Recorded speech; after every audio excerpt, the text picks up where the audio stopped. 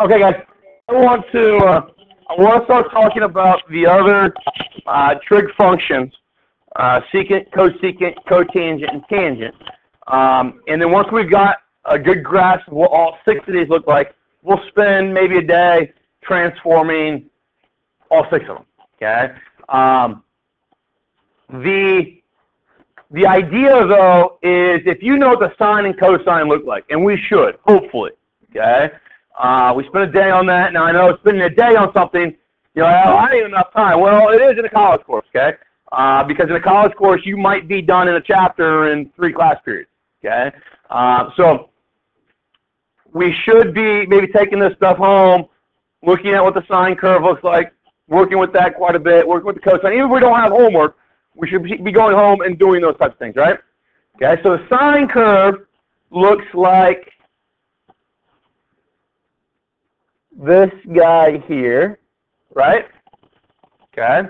And the cosine then is that moved pi or 2 units to the left. So we've got that relationship, okay?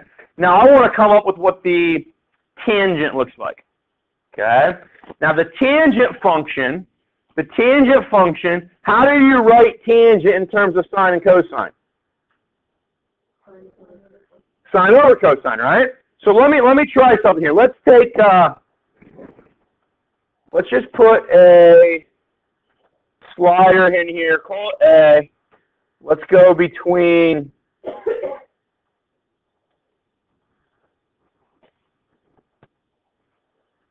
negative 3 pi to 3 pi. And let's go by increments of pi over 12. So it's going to put a point every pi over 12 units. Okay. So this that, that slider is just oscillating. That's negative 3 pi.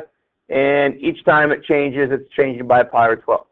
Uh, let's do this now. Let's just say we have a line x equals a. Well, this is a, so that line x equals a is going to be that thing right there, right? So what I'm going to do, so let's just assume that we're at pi over 2. Okay?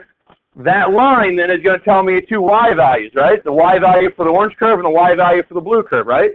If I do the blue y value divided by the orange y value, won't that give me the tangent value at pi over 2? All right, so it should show up somewhere on that black line. So let me just kind of grab, let's put a point on here. Let's say that we're taking, this is how I would do this. I'm going to go, I want the x value to be whatever a is, so pi over 2, pi, 2 pi, whatever the, the increment is here that I slide through. But now I want the sine of A divided by the cosine of A as the y value. Does that make sense?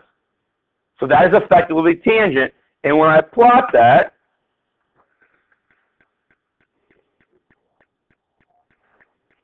we'll talk about why it's not showing up there here in a moment, but right there, you start to get that point. So right there uh, is the tangent of essentially 1.31, which I believe is uh, like 11 pi over 12. Does that make sense? Okay. Um, let's go back. Let's just start this slider at zero. Okay. And as I move, so now what it's doing to get that point A right there, it's taking the sine value of the orange curve, which is 1 at that spot, right? And divided by the cosine value at that point of 0, which is 0, right? Okay. Um, so sine divided by cosine and we're going to see this here in a moment, um, provides us, uh, I'm sorry, sine, yeah, sine of, so the blue curve is sine, so its y value is 0, okay? The cosine curve is this one, its y value is 1. When I divide those, what do I get? 0. So that's what I'm saying, the tangent at a radian of 0 is plotted at zero. So zero comma zero, that A at point A is the tangent for zero. Does that make sense? If I go to, I'm just going to click this thing to trace. Let's skip that. Let's that's pi over 12. Let's go to this one. Where my cursor line is right now, that is at pi over 6. Okay? The sine value at pi over 6, which is that on that blue curve, would be 1 half. The cosine at pi over 6 is root 3 over 2, right? So right now we have 1 over root 3, which is root 3 over 3, which is about 1.7 divided by 3, which I think turns out to be about 0.55-ish, okay, in that ballpark. Um, and that's where that point A's y value currently resides. Does that make sense? And we're going to do the same thing then for, that's pi over 6. Let's go to one more increment of 12. We're looking at pi over 4, right? Well, look at the sine and cosine values at pi over 4. Aren't they both radical 2 over 2? What do I get when I divide this? I get 1, right? So that's why that a value is residing at a height of 1. For the tangent at pi over 4, you have a radical 2 over 2 divided by radical 2 over 2, which just evaluates off 1. Um, now, the one thing that I want to make sure we understand, okay, is that when we get out here to pi over 2 eventually, what's the y value, or what's the sine value at pi over 2? 1. What's the cosine at pi over 2? 0. What's 1 divided by 0? Undefined. So this line right there, that's why A disappears. That line right there is A. That's an asymptote. Okay? When we have division by 0 for these functions, we get asymptotes. All right, so I'm going to keep continuing the process past pi over 2. So I'm now in the second quadrant of the unit circle, taking the y values divided by the x values and plotting them against these radians. And I get that. Another asymptote right there at 3 pi over 2, right? Okay. And I can keep doing this. Another asymptote out there at 3 pi. Okay. And what's nice is that I can go this direction as well. So now I'd be rotating around the unit circle clockwise clockwise, and I get those points of asymptote at negative pi over 2, which is sends is 3 pi over 2, right? It's coterminal. Negative 3 pi over 2 is the same as the asymptote at pi over 2. I can keep going on and on. Okay? What I want you to understand is that if I know what the sine and cosine curve looks like, if I know what the blue and orange curves up there look like, and I know a key set of points off of those. I should be able to develop the tangent function pretty efficiently. Okay, I'm not gonna just like the sine and cosine. Obviously, I don't want you when you're graphing sine and cosine curves to graph all I don't know 16 or 17 points off the unit circle, right? Okay, that's too much. If I want to graph this curve right here, tangent of x, okay, I want you to graph the following points. Let me hide these two things real quick. Okay. The first point I want you to recognize is that 0, 0 is pretty useful. Okay. The next one, because of how the sine and cosine relate to one another, is going to be pi over 4. Because at pi over 4, the sine and cosine are the same number, right? So they have a quotient of 1. Over here, okay, where am I going to have a quotient of negative 1? Negative pi over 4.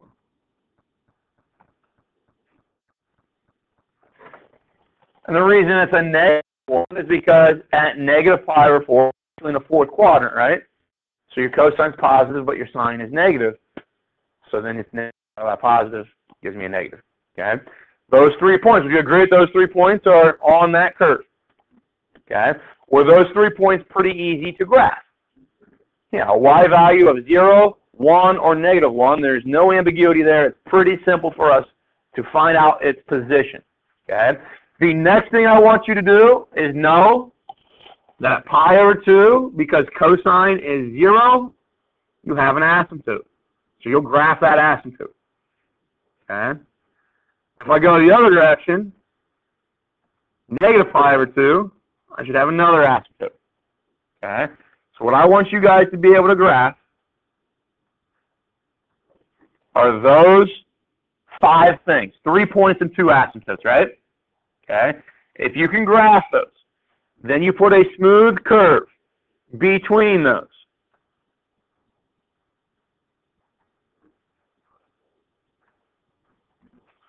Okay? You have then effectively created one period of the tangent function. Does that make sense? And now all you're going to do is you're going to cut, lift that thing out, shift it over, paste it back down, and you get another period. Okay? So think about this. What's the what's the period between these two asymptotes?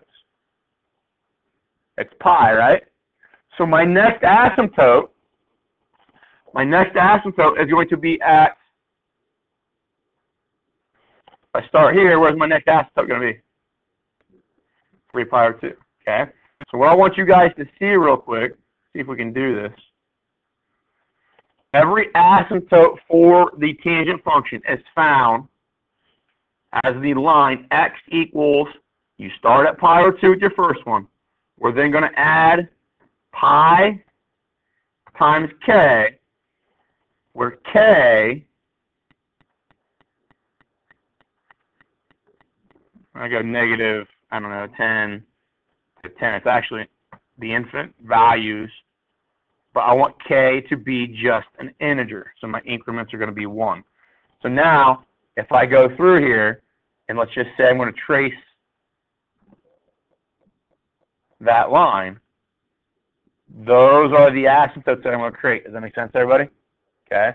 Um, if you can do that, then look at the symmetry that exists inside one period.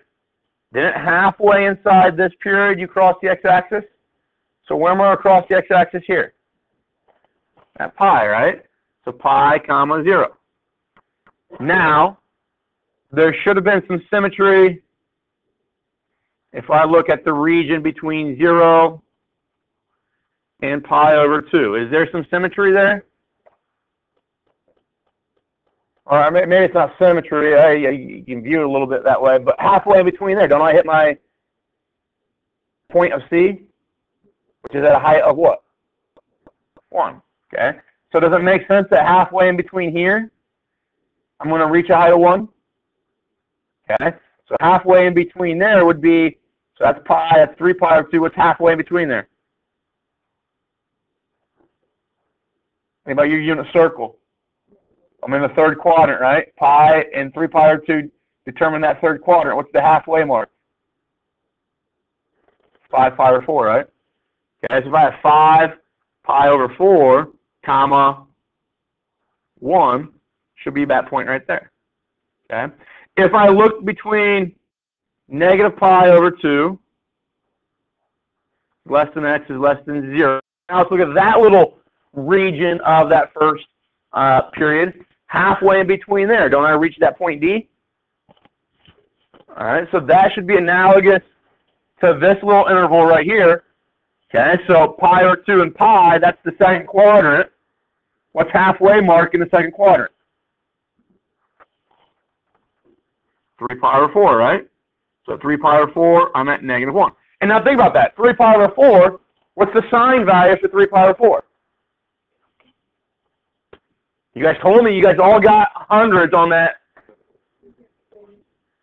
Yeah, the, the, so the sine value of 3 pi over 4 is radical 2 over 2, right? The cosine is negative radical 2 over 2. So when I divide those, I get negative 1, right? And that's why that G point is at a height of negative 1. All right, so you guys proved to me, okay, that you can do the unit circle. Okay, you did very well on that over the last 10, 12 years. This group, first and second period, have performed the best on that that quiz. Okay. Now, does that tell me that you have you can know it and, and retain it and reuse it? I don't know. Okay. Um, it shows me you can develop it, but now the the idea is when Mr. Say, Mr. Mr. Fay, Mr. Fay says, what is the sine of 3 pi over 4, you can, you can blurt that out as fast as I can say it. Does that make sense? Okay? Because we can't just, we, as much as we're going to use these key points, we can't just sit here and wait and wait and wait and wait and then me give you the answer because nobody's learning that way. Does that make sense? Okay? Um, but if I keep doing this process, Okay, now, so 3 pi 2, 2 pi, that would be in the fourth quadrant, right? Start dividing the y value and the x value uh, for order pairs on the unit circle in the fourth quadrant. You will start to reproduce point G, be right there. Point E will correspond to right there. And then point F will correspond to right there. Does that make sense? And we can keep cutting and pasting this thing, and we'll see that the tangent function is indeed that curve. Okay? Now, if you're on your TI-83 or 84, guys, um, something to think about. I was able to get mine back working, but it's now the TI-84 plus C Silver Edition. So, um, which is actually the better calculator, but there's some things here that I don't really like about it.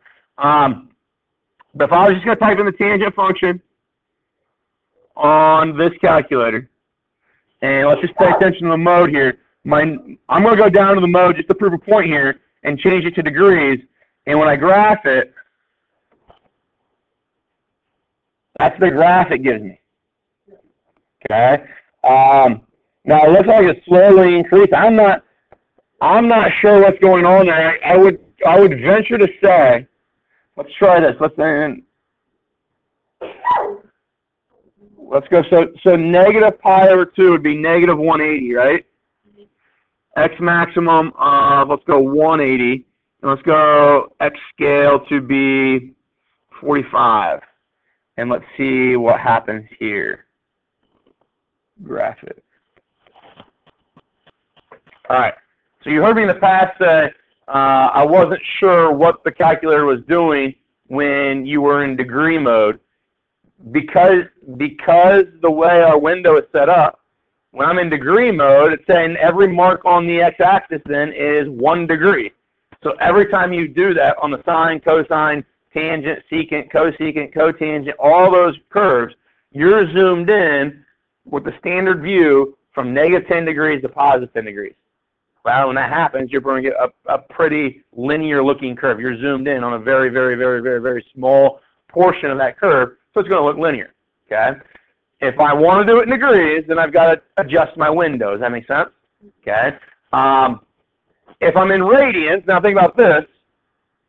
If I'm in radians, so go mode, radian, graph that. Now, it's the same concept. Now I'm, I'm between negative 180 radians to 180 radians, or something like that. Um, and, and that starts to fill in kind of silly looking, right? Okay, and I'm not getting the graph that I think I need. And it's all because of your window. Okay. Um, so if I'm in radians, I guess the, the normal window, kind of the base window to look at is 2 pi, negative 2 pi, to positive 2 pi,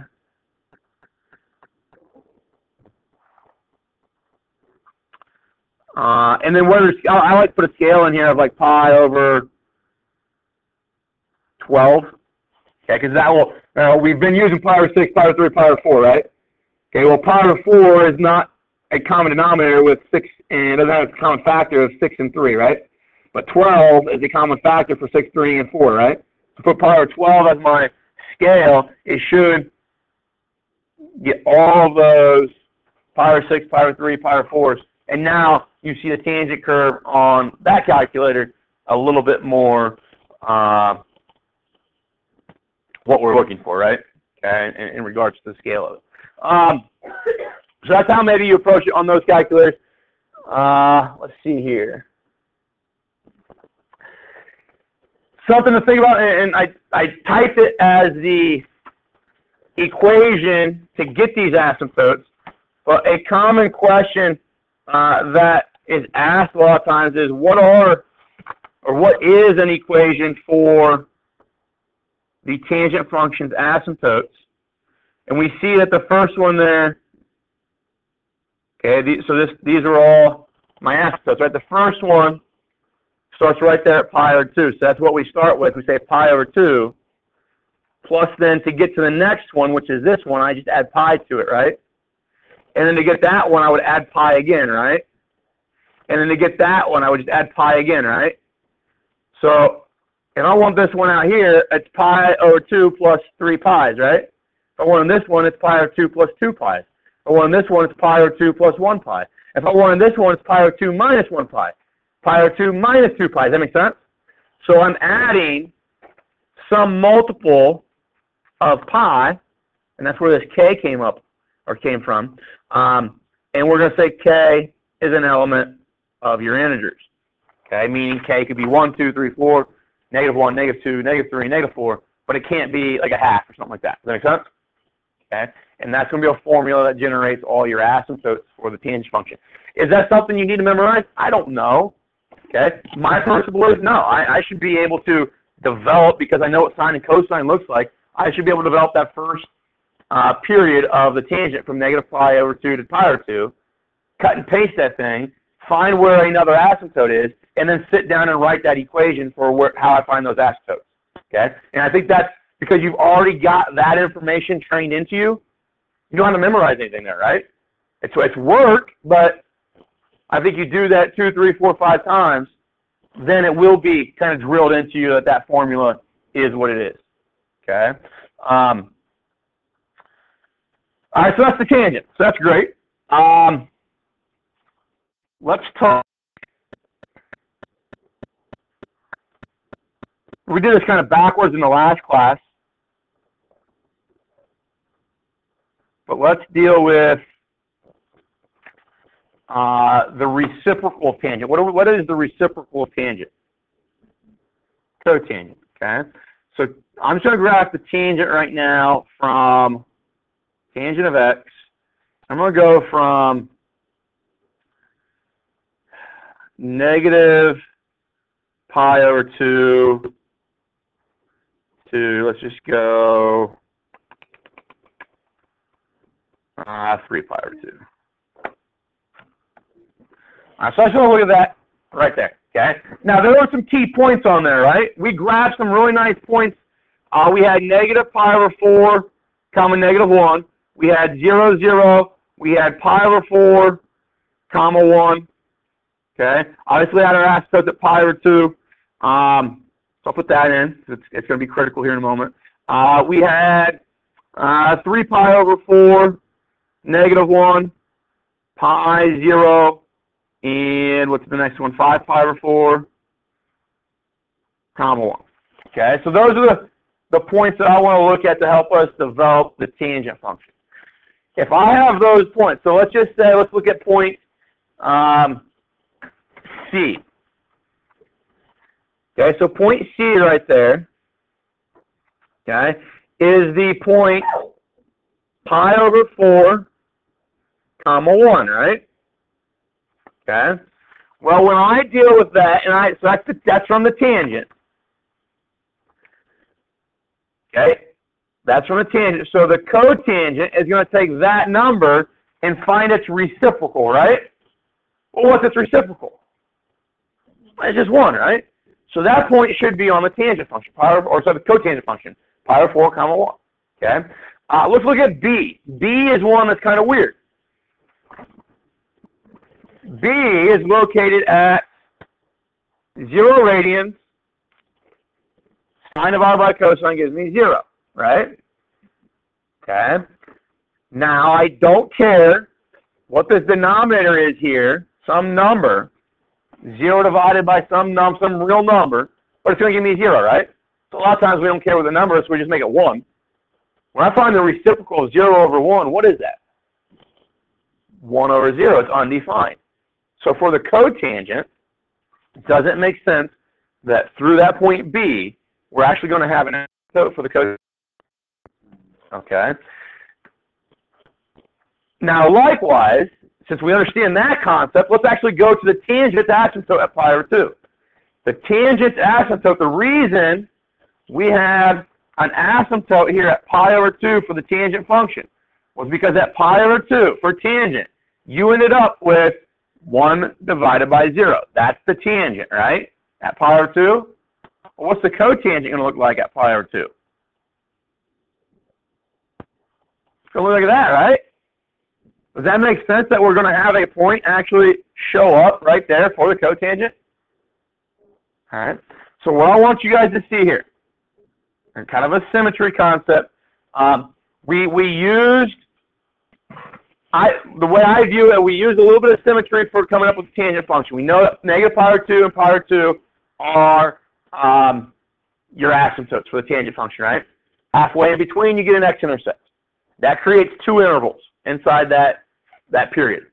In that first interval, you're going to be at negative 1. In that second interval, your y value is going to get positive 1, and that gives you those points A, B, and C. Okay? And then you can cut and paste that. Well, the cotangent is somewhat similar. Okay, but we're going to start with an asymptote at x equals 0 and an asymptote at x equals pi. Okay. You're going to have the point pi over 2 comma 0 because that was the asymptote for tangent, right? So the reciprocal actually goes to 0. Now, does that break up that period into two intervals? Okay. For the tangent, at pi over 4, you had a y value of 1, right? So for the cotangent, what's that y value turn into? Might be somewhat of a trick, trick question. It's a reciprocal of 1. 1, right? Turns that, that y value 1 turns into 1, stays 1. Okay? Um, and then if I go to 3 pi over 4, that y value is going to be negative 1. So you kind of see still the same type of um, symmetry occurring between those asymptotes is that halfway we get point A, we get our intercept, and that creates then two intervals inside that period. In the first interval, you're at a height of 1. In the second interval, you're at a height of negative 1. Okay? So now the tan, or so the cotangent function between zero and pi looks like that. Okay. Then we can take and figure out what our asymptotes look like. Um, I think I deleted that line that was creating my asymptotes. Hopefully I did. Good. Okay. So let's say, so what is that period there? pi, right? So where's my next asymptote going to show up over here? 2 pi. So if I just go x equals pi times k, that should produce that next asymptote, right? if we trace that, we see all of our asymptotes that are going to be generated for the cotangent of x. And we just take that first period that we created and we cut and paste it as far to the right as we need and far to the left as we need. Is that right with everybody? Okay. The tangent cotangent are very, very, very, very, very similar to one another. Let's look at this. Let's take, uh, so that's the cotangent. Let me get my asymptotes out of there.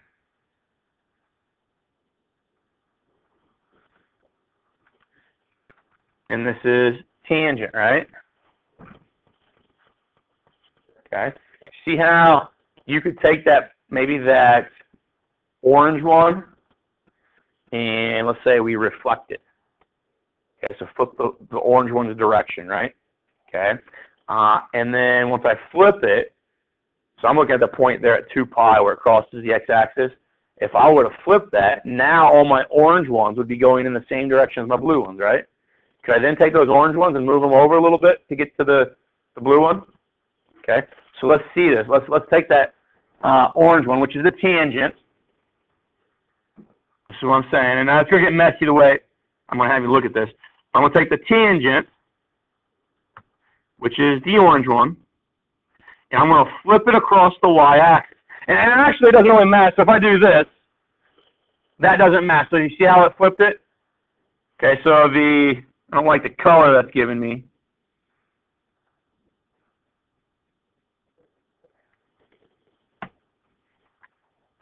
I don't know if I like that either, but uh, it took my tangent function, which is these purple, these dark purple ones, and it flipped it and gave me this kind of light one here, right? Does that make sense? Okay. Now, if I take that light one and move it, will it give me the red ones? That kind of makes sense? Okay. So I guess what I'm trying to get here, or get at here, is that if I take the tangent function, okay, if I put a negative there, it flips it, right? Does that make sense to everybody? Now, is that the same flip as if I put it here?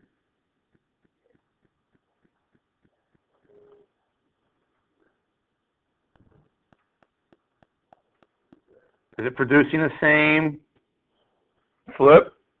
Is it, is it producing the same image? Yeah, one's an x-axis reflection, one's a y-axis reflection, right? But it produces the same image. Um, so if I want to take the tangent, reflect it, and now let's say that I want to move it, let's move it pi over 2 units. I don't really care which way. That way. Is that the same thing as the cotangent? Does that make sense? Okay. So those are relationships that we're gonna we're gonna hopefully recognize and use and see. Um, because often if they give me like inside an equation that has uh, you know the tangent of x plus pi over 2, uh, maybe I want to rather refer to that as negative cotangent of x. Okay, um, and I think it has to be negative there because I didn't I didn't incorporate the the negative tangent of x um, plus pi over 2. Uh, but that's the idea is that we should be able to develop these links of being able to rewrite one of our trig ratios in terms of the other ones to make things a little bit easier. Um, so that's the, the tangent cotangent. Now, guys, my suggestion to you, yes, we've talked about it. I'm going to record this. I'm going to post it. There are also other videos on my website and that kind of stuff. We might only talk about how they're developed one or two times, but you're going to be able, you're going to need to know them. Okay, uh, we can't we can't sit and dwell on these things for four, five, six, seven days in a row because we'll just run out of time. Okay, so we need to do some some legwork outside of class. That's kind of why last week I wasn't assigned too many homework assignments. My hope was that you went home, even though we didn't have any math homework, we we we spent time, maybe 10, 15, 20 minutes a day, looking at what's the sine function, what's that look like, what's the cosine function, what's that look like, how do I develop those, how can I graph those quickly? Um, because with those graphs, we're going to do a lot of work, uh, and if it takes you, you know, five, six, seven minutes to graph this sine function, then it's going to take you even longer time to graph the cosecant. Okay, uh, so that's what I want to graph right now is the cosecant. Okay, the cosecant is the reciprocal of the sine, right? Cosecant is the reciprocal of the sine. So it's the same procedure, guys. If I were to uh, look at a radian of zero, let's just go plot the points this way. If I'm going to look at the radian of zero, right now on the sine function, it's at a y value of zero, right? What's the reciprocal of that y value zero? I have 0, comma 0. Take the y value and find its reciprocal. How do you get 0? It's 0 divided by a real number, right? Okay. So when I take that reciprocal, it's a real number divided by 0, which turns into being undefined. Okay. So at 0 right now, I have actually a what for the uh, cosecant? An asymptote. x equals 0 is going to be an asymptote for um, the cosecant. Okay, let's go to uh, a nice value, pi over 6. What's the y value for pi over 6 for the sine function? 1 half, right? It'd be that, oh, pi over 6, comma, 1 half. It'd be that point right there, right? Well, what's the reciprocal of 1 half? 2, right? That is a point on the cosecant. Okay. Let's go to pi over 3. Pi over 3 on the sine is square root of 3 over 2, right? See that point there that's not labeled. Okay.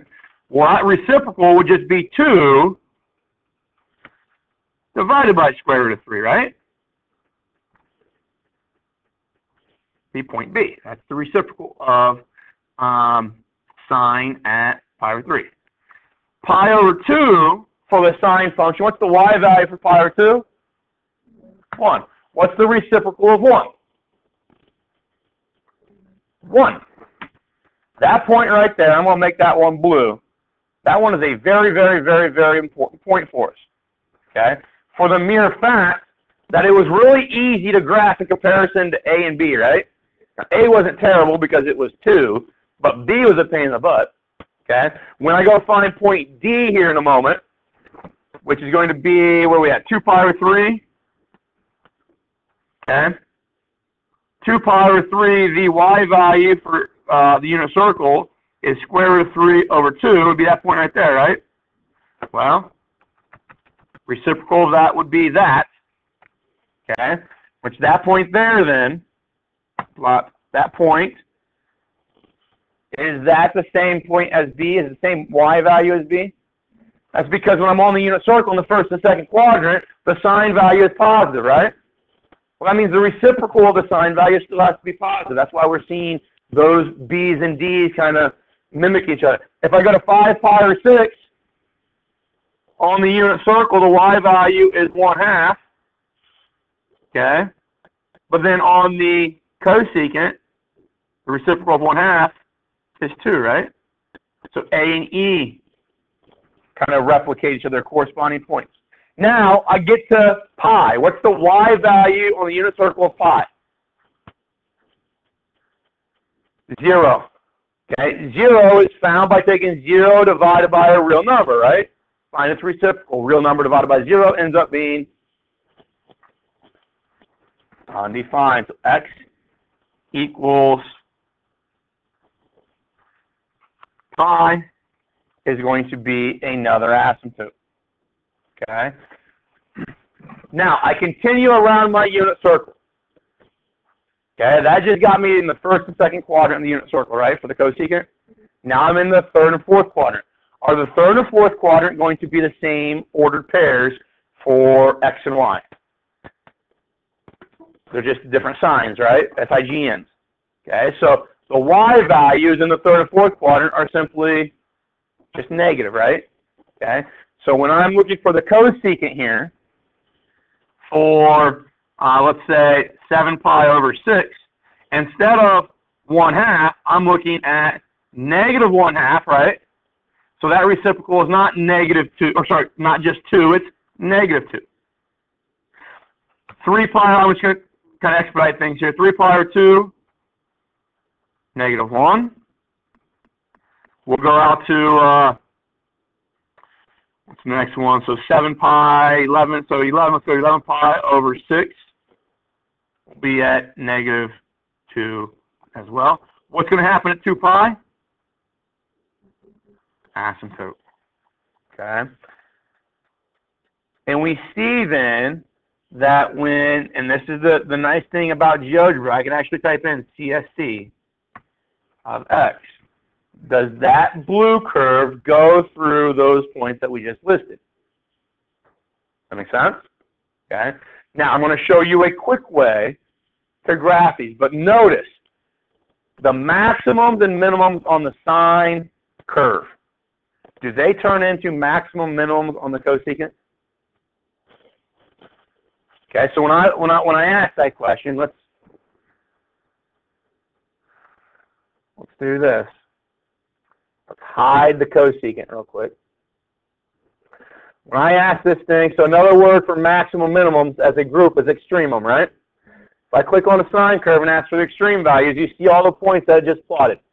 Like I, J, L, okay? Do those points end up being parts of those blue curves? I and J are maximums and minimums of sine, but they're also then maximum minimums, the, the other maximum of the cosecant. So if it's a max on the red curve, it's a min on the blue one, right? If it's a min on the red one, it's a max on the blue one. But that relationship is nice for us because when we graph the cosecant curve, that relationship becomes critical. notice where do all the asymptotes show up? Okay, at pi, and then 2 pi, and then 3 pi, and pi, and 2 pi, and 3 pi, and negative pi, and negative 2 pi, they are the whats of the sine curve. Graphically, they're the, what would you say? Not minimums. They're not the smallest y values up there. That's what a minimum is. When you, what are you crossing? You're crossing the x-axis, right? You call, when you're crossing x-axis, those are x-intercepts or zeros or roots, right? Okay? So your asymptotes for your cosecant occur at the zeros or the x-intercepts of the sine function. Okay? If we can remember that, the task then is how do I graph a cosecant curve quickly? Let's pop this open and I'll show you the quick way of doing this. And then if you understand how to do it with the cosecant, the same principle then applies for the secant. So first thing you're going to do, if they ask you to graph y equals cosecant x, and this is no matter what, whether it's a just the, the straightforward cosecant, or if they're going to ask you to shift it, left, right, stretch it, that kind of stuff, you would do the same process. So if I want to go y equals cosecant of x, that's what I want to graph. I'm first going to say, nope, I'm going to graph this. Because that is its reciprocal, right? And I know what the sine function looks like by heart. I've done enough. So I can go out here to 2 pi. I can cut that in half at pi. Cut that in half at pi over 2. 3 pi over 2. I've got my height of 1, height of negative 1, and I know then the sine function starts there, goes to there, comes back, the x-axis there, it's a minimum there, and then back to the x-axis. So that tells me those those are, if I were to connect it, okay, that's my sine function, right? And that then is the tool that's going to help you graph the cosecant because of the relationship that we said that at the x-intercepts of the sine are where your asymptotes for the cosecant exist. So I'm going to go to this x-intercept, draw an asymptote. X-intercept, draw an asymptote. X-intercept, draw an asymptote. And I do that as far as I need to, right? In either direction. Then there was a relationship that the maximums for the sine curve become minimums for the cosecant. So this is a maximum for the sine. It now became a minimum for the cosecant. Okay? Now, if you want to, you can go, because there are some other convenient values like pi over 6 at a y value of 2, right? 2 is a pretty easy one to graph. Most of the time, though, this is enough because we know how we should behave around asymptotes because there are no other x-intercepts, right? For the cosecant, has no x-intercepts. So when I move to the left, I only got one option. I can't go down, right? Got to go up. Follow that asymptote. Follow that asymptote. Come over here. That point is a minimum for the uh, sine curve, so the maximum for the cosecant. Follow to the left. Follow to the left. Or sorry, to the right. And now that is one period then of your cosecant.